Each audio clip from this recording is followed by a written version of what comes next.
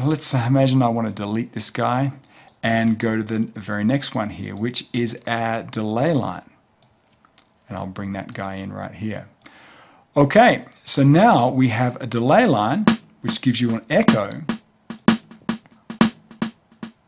And the number of echoes you have are adjusted by this feedback.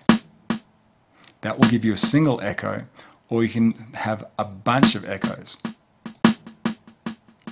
Now you can have your delays fall on time measurements in milliseconds if you like, and you can go all the way up to 2000 milliseconds, which is two seconds. Or if you go into steps, then you can have it a certain number of say 16th notes here. So if you were to select four 16th notes, that would be a quarter note. They would fall, you know, just exactly on the quarter notes synced to your songs.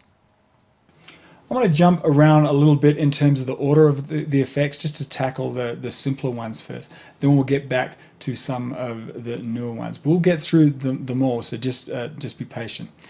Let's uh, skip down and look at some of the other effects.